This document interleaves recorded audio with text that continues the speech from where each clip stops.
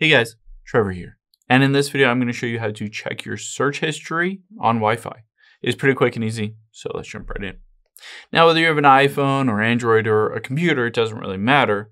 First, we need to find your router's IP address. So let's head into your settings and we're going to tap on Wi-Fi here. And we're going to get into your Wi-Fi signal. So tap on the little I and scroll down until you find the router IP address. It usually starts with 192.168. So I'm going to tap and hold and hit copy.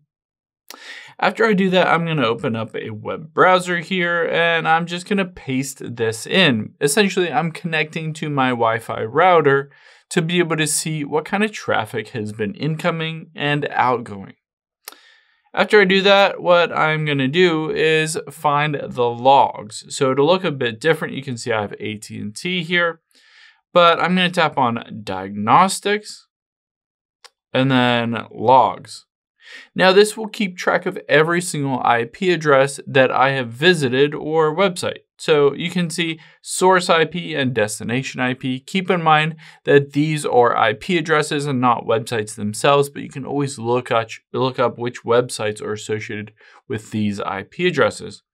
So you can go through the list and see essentially, you know, where you have visited, where maybe you have downloaded things from or uploaded things from, all of that stuff, all of that history will be right here in your router logs. I hope this helps. If it did, hit the subscribe button down below. It really helps me out. And I'll catch you on the next one.